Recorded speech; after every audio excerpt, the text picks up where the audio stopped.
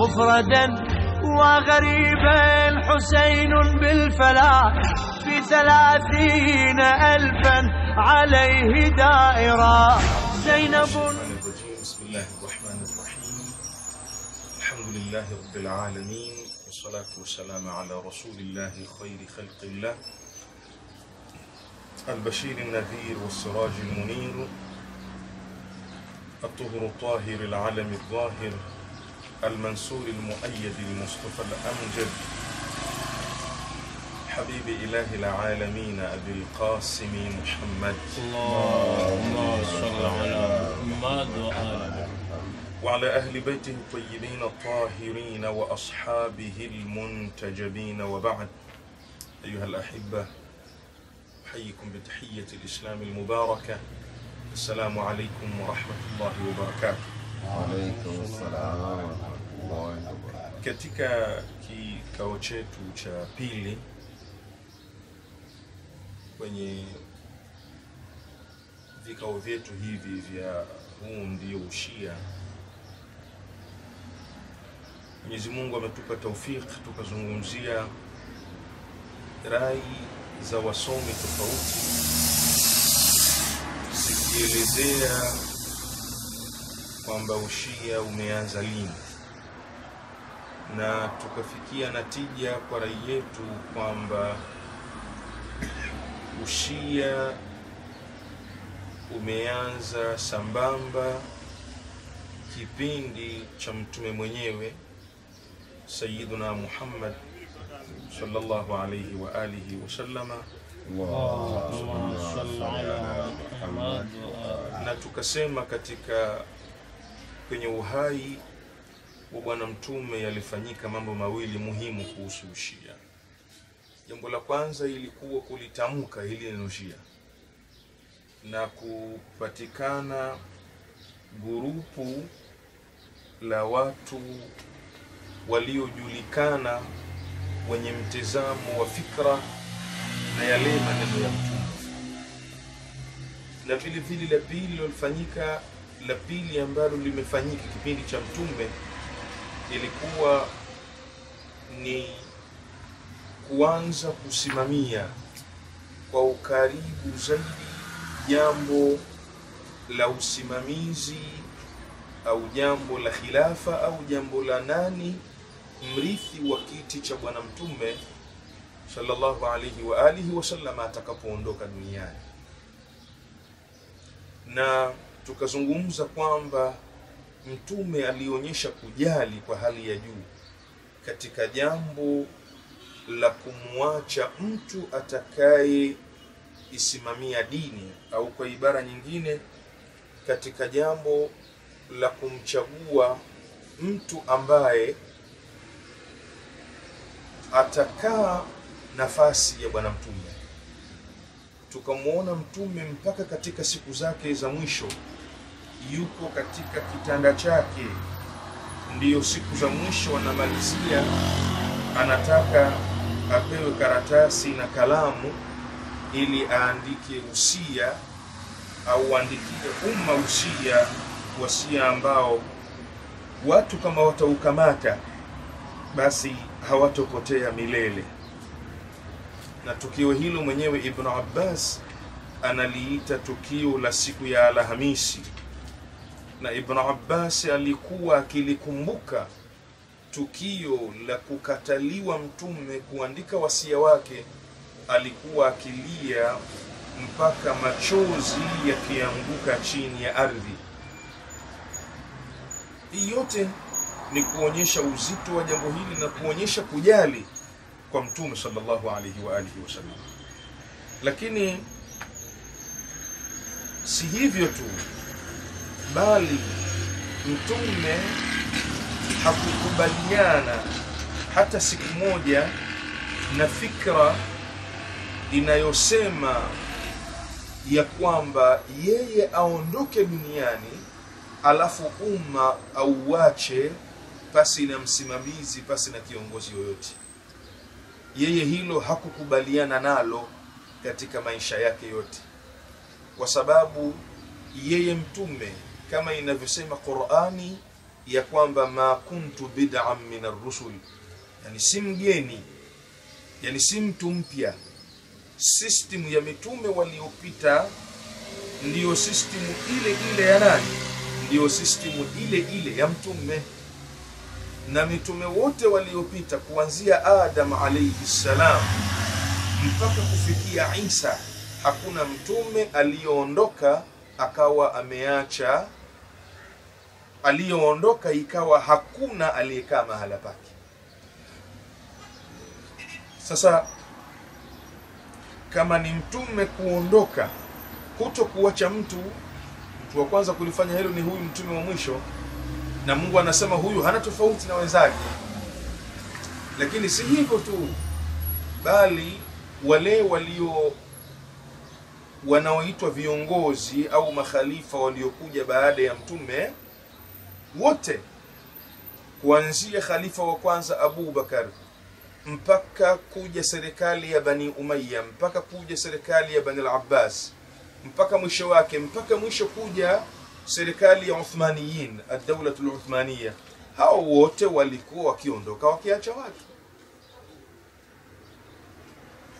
Sasa iweje mtume sira hii na mwenendo huo watu wote asiujali aje na jingine lipya la kuuacha umma pasi na, na kiongozi yoyote. Hakukubaliana mtume na fikra za shura.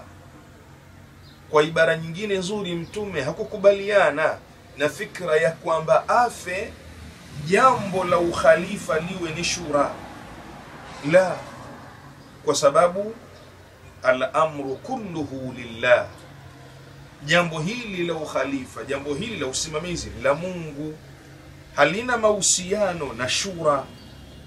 Na ndiyo maana ukijaribu kuzama kwenye vitabu hatupati maelekezo ya mtume sallallahu alayhi wa alihi kwamba alielekeza sistimu ya shura iwe hivi atakapoondoka duniani. La hatuna ile wa amruhum shura bainahum. Jambo lao ni shura wanashauriana. Ahsante sawa sawa. Jambo lao ni shura ni kweli. Ni kweli wana tabia kushauriana. Lakini sio katika jambo la ukhalifa sio katika jambo la imama na, na wala katika jambo la khilafa katika jambo hili si jambo la shura si jambo la kushauriana.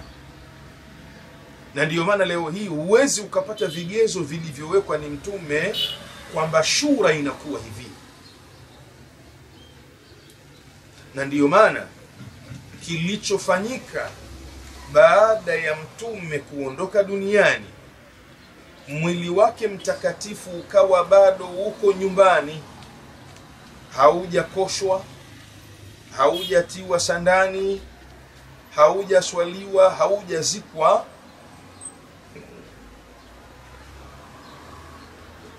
Wakatoka baadhi ya watu kwenda sakifatu bani saida. Sakifa walikofika wakachagua uongozi wanaopenda wao. Sio uongozi aliouchagua mtume. Aa. na sakifatu bani saida muhajirina waliokuwepo kule walikuwa watu watano tu wazidi idadi ya vidole wakamchagua khalifa wanayempenda wao baada ya mivutano mikubwa iliyotokea pale Satifa. lakini ala kulli hal mahala ninapotaka kufikia ni hapa kwamba walipouacha mwili wa mtume wakaacha kumkosha na kumzika wakenda wakachaguana? Baada ya hayo wakamtaka ali ende akatoe baia.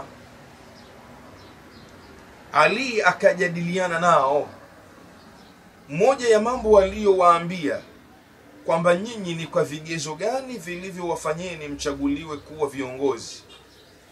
Au uchaguliwe kuwa kiongozi? Kigezo kikubwa ilikuwa na wao vile vile wana haki ya mtume ni watu wake wa karibu kwa sababu mtume ni mtu wa maka na wao ni watu wa maka mtume ni quraishi na wao ni Makuraishi.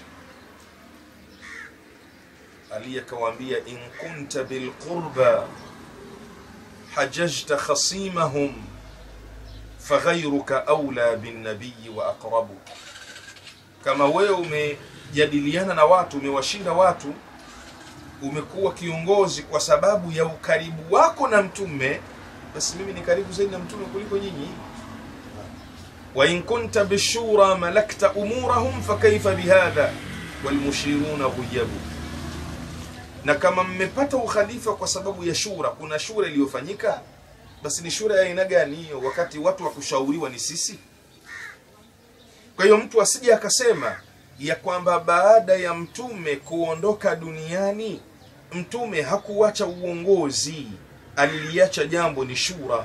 Jawabu, hiyo shura haikukuwepo. Zaidi ya hivyo, Sheikh Samfyomi, shura hiyo lau tukisema shura ilifanyika kwenye kumchagua khalifa wa kwanza, haikufanyika tena, maana khalifa wa kwanza hakufanya shura. Khalifa wa kwanza alimteua khalifa wa pili. Shura haikufanyika tena vile vile kipindi cha khalifa wa pili. Khalifa wa pili aliteua watu sita, akasema nyinyi watu sita. Sasa hiyo si shura. Sasa tukisema kwamba kulikuwa na shura shura vile vile shura hiyo ilikuwa haipo hatujaiona na wala hatujaisikia. Kwa hivyo kulingana na haya yaliyopita tunaweza tukasema ya kwamba mtume sallallahu alaihi wa alihi wasallama yeye alichagua uongozi na si kweli ya kwamba mtume hakuchagua kiongozi kwa sababu mtume siku zote alikuwa yakimfanya halali yale yanayohusiana na umma au yanayohusiana na, na watu. Hili ni jambo la kwanza. Jambo la pili ambalo ni muhimu kuli, kuligusia. Baada ya mtume kulitamka hili neno Shia na baada ya mtume kuelezea jambo la uongozi atakapoondoka yeye duniani,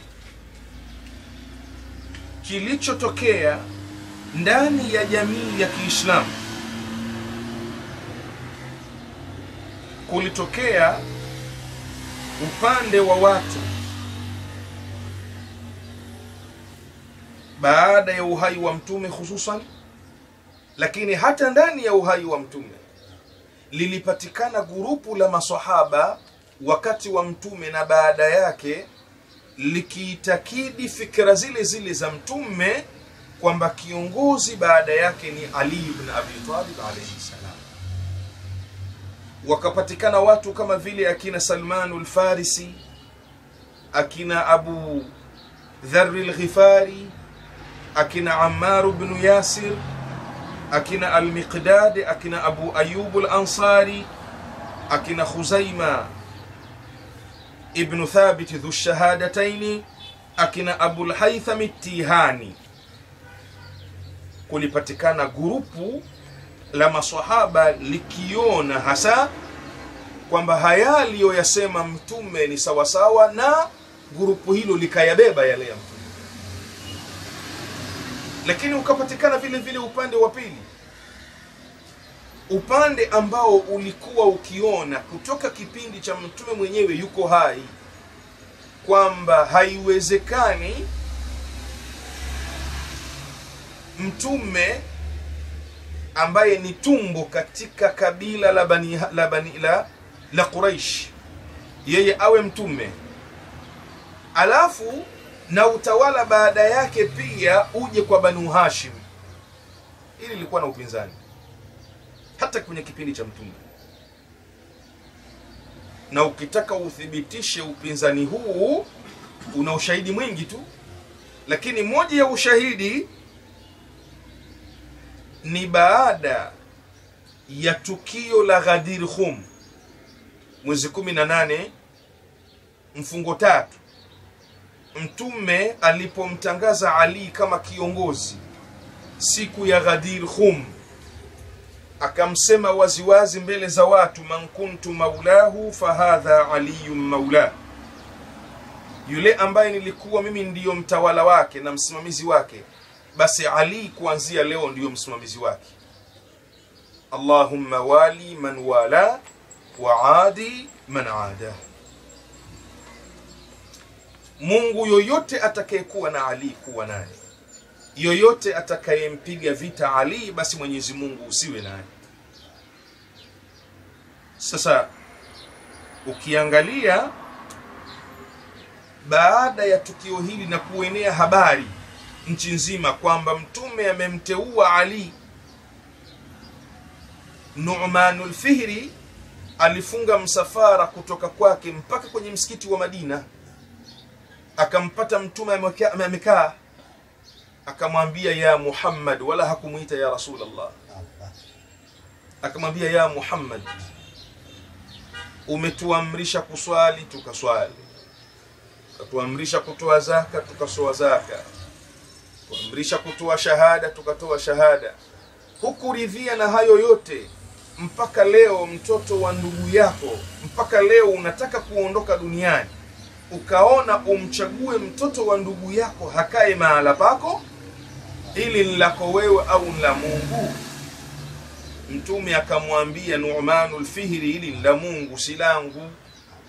numanu Fihri akasema, kama hilo ni lako, Allahumma amtir alaya hijaratan min as-samaa kama hilo nlako nlako wewe la Mungu, basi Mungu, ebu lete mawe kutoka mbinguni. Huyu bwana hakupiga hatua, yalishuka mawe yakampiga na. Sasa haya ni kuonyesha nini? Haya ni kuonyesha kwamba mtume alikuwa na upinzani wakati wa uhai wake wa kumchagua Ali ambaye ni katika Bani Hashim na ushahidi mwingi upo. Kwa hiyo ikapatikana kambi. Kambi hii ndiyo iliyokaa baada ya mtume tu kuondoka duniani, ikaja ikamchagua khalifa wao. Kambi hii iliongozwa na watu wafuatao: Abu Bakar, Umar ibn al-Khattab, Uthman ibn Affan, Abu Ubaida ibn al-Jarrah. Ukijaribu kusoma baadhi ya vitabu, kwa mfano kama vile kitabu Saqifa cha Sheikh al-Mudhaffar na kitabu Maalimu al-Madrasataini cha As-Sayyid al-Askari na kitabu kinachoitwa Bahthun Hawla al-Wilaya cha Ash-Shahid as-Sadr rahmatullahi alaihi, Vitabu nilivyovitaja utavipata vimeeleza hii mirengo miwili ilivyokuwepo na vipi ilijikita ndani ya mujtamai na ndani ya jamii ya Kiislamu. Kwa hivyo ukijaribu kuangalia kwa makini utapata ya kwamba ushia au tashayu ni natija ya maneno ya mtume kwenye kuainisha na kubainisha na kutangaza uongozi utakaokamata madaraka baada ya yeye kuondoka duniani, na kwamba tunaposema mashia tunakusudia ni watu wanaomfuata mtume kipindi cha mtume yuko hai, na baada ya kuondoka mtume ni wale wanaomfuata yule aliyeteuliwa na kutangazwa ni Mtume Muhammad sallallahu alayhi wa alihi wasallam. Allahumma salli ala Muhammad wa. Haya ndiyo yaliyomfanya aalim aalim katika maulamaa wa Lubnan Asayid Abdul Husaini Sharafuddin aseme maneno yafuatayo, nitapenda niyazungumze hapa kwenye kufunga hichi kipindi chetu. Asayid Abdul Husaini Sharafuddin ameandika hivi, anasema inna taabudana fi lusul بغير المذهب الأشعري وفي الفروع بغير المذاهب الأربعة لم يكن لتحزب أو لتعسب ولا لريب في اجتهاد أئمة تلك المذاهب ولا لعدم عدالتهم وأمانتهم ونزاهتهم وجلالتهم علما وعملا لكن الأدلة الشرعية. Saidi Abdul Hussein Sharafuddin alipouelezea ushia, alipoelezea kuwafuata ahlulbaiti ya kwamba ni maelekezo ya mtume mwenyewe kwamba mimi nitakapoondoka duniani atakaerithi kiti changu huyu hapa. Kwa ibara nyingine nzuri, boma langu msimamizi wake atakuwa ni huyu kwa sababu lazima familia iwe na mzee wa boma. Huyu mzee wa boma, watu wanarudi kwake katika kila jambo, sio baadhi ya mambo. Aa, kila jambo wanarudi kwake. Ndio mshauri wa mwisho na msemaji wa mwisho. Said Abdul Hussein anasema sisi Mashia tunapomfuata Mwenyezi, tunapo tunapomwabudu Mungu katika jambo la usuli yani ile misingi ya dini na tukaacha itikadi ya watu wengine wowote tukachukua itikadi ya ahlulbeit tukaacha itikadi ya al-ash'ari ambayo ndiyo itikadi ya ahlusunna tukaacha itikadi ya almaturidi ambayo ndiyo itikadi ya ahlusunna katika mambo ya, ya aqida. Mashia wanawafuata ahlulbeiti kwenye jambo la aqida. Anasema vile vile katika jambo la furuu masala ya swala masala ya hija ya zaka kutoa sadaka na mengineyo. Sisi tumeacha madhehebu nne. Hatukumfuata shafi wala malik wala hambali wala abu hanifa. Si kwa sababu mashia wanapenda kujitenga. Ala ala si kwa sababu hiyo. Hatukuwafuata wanne si kwa sababu ya taasub si kwa sababu tunawachukia. Sio kwa sababu kwamba hatuitakidi sisi mashia kwamba alimamu shafii alikuwa ni mujtahidi. La alikuwa mujtahidi. Wala si kwa sababu ya kwamba alimamu shafii na wenzake hawakuwa waadilifu. La walikuwa waadilifu. Si kwa sababu ya kwamba hawakuwa waaminifu. La walikuwa waaminifu. Bali walikuwa na ilmu na walikuwa wacha mungu kwa nini tukayaacha madhehebu manne tusiyafuate? Kwenye upande wa furui za dini. Kwa nini tukamwacha tuka al-ash'ari na al-maturidi kwenye mambo ya akida? Tukafuata ahlul bait. Sababu?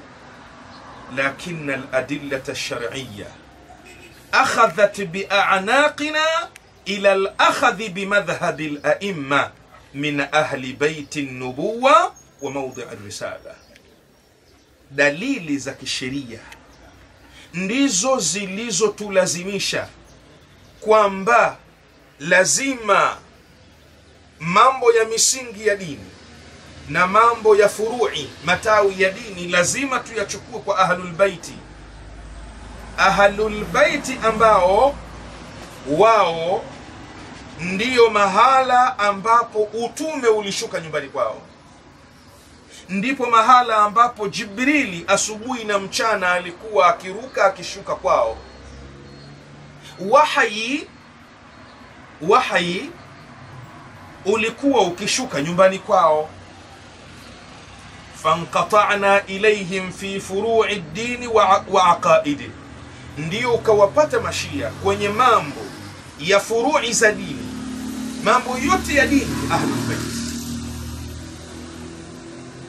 mambo yote ya usuli ya dini fiqhi misingi ya fiqhi mambo ya sunna mambo ya akhlaq mambo ya adabu yote wakawafuata ahlulbeit nuzulan ala, ala hukmi ladillati walbarahin kwa sababu gani? Kwa sababu ya kupatikana dalili na hoja za kuwafuata ahlulbeit mwisho anasema walau samahat lana ladilla lau tungepata hata hadithi moja. Naomba nirudie maneno haya. Walau samahat lana ladilla lau tungepata hata hadithi moja.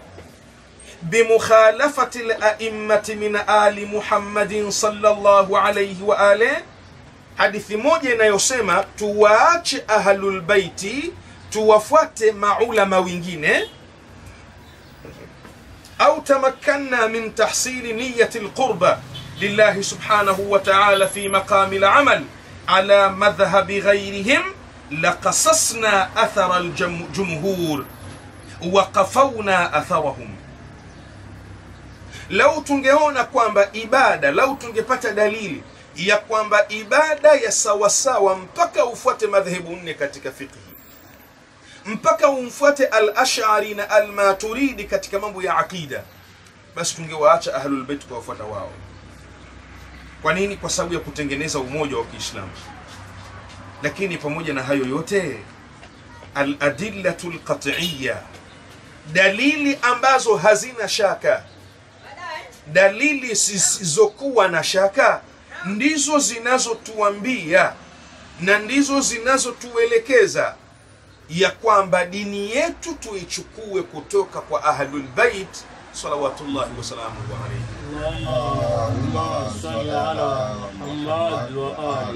na kuwacha kuchukua kwa madhehebu manne ni kwa sababu ya kukosa dalili ya kisheria inayoelekeza kuchukua huko kwao, lakinaha ladilat alqatiya. Said Abdul Hussein anasema, lakini ni dalili dalili zilizokuwa na nguvu. Taqtau ala lmumini wajhata ambazo zinamfanya mtu hana shaka. Watahulu bainahu wa baina ma yaum hazina shaka hazina mushkil. Kwamba dini ya Mwenyezi Mungu Subhanahu wa Ta'ala baada ya mtume kuondoka duniani kuanzia mambo ya usuli mpaka mambo ya furui yachukuliwe kutoka kwa Ahlul Bait alayhi salam. Na kwa sababu ya wingi wa dalili hizi, Amirul Mu'minin Ali ana hutuba yake, anasikitika, anawaangalia Waislamu na kuwaambia maneno yafuatayo: fa aina tadhhabun, Waislamu mnakwenda wapi? wa anna tufakun, mbona mnapondolewa? Mbona mnaepushwa kwenye jambo la sawasawa hili hapa? Nyinyi mnatolewa kwenye jambo la sawasawa, mnapelekwa kwingine. walalamu qa'imatun, mbona dalili ziko wazi ya kwamba mtume hakuondoka duniani mpaka akaacha watu ambao watairithi dini hii na kupeleka ujumbe huu fa aina yutahu bikum, mbona mnababaishwa? Bal kaifa tamahun, mbona mnaangaika mara kule mara kule? Wa bainakum itrati nabiyikum, wakati ahlul baiti mko nao, mbona mnababaika? Mwisho mwenyewe anasema alam a'mal fikum bithiqli lakbar, mimi nilipokuwa niko hai baada ya kuwachwa ni mtume nikakaa kwenye kiti chake mimi niliitumia qurani katika kuhukumu. Wa atruk fikum thiqil asghar naondoka duniani. Qurani ninaiacha lakini ninawaachilieni kizito cha pili kidogo ambacho ni ahlulbeit salawatullahi wasalamuhu alaihim allahumma salli ala muhammad wa ali muhammad. Allahumma أرنا الحق حقا وارزقنا اتباعه يا الله. وأرنا الباطل باطلا وارزقنا اجتنابه. الله. برحمتك يا أرحم الراحمين. الله.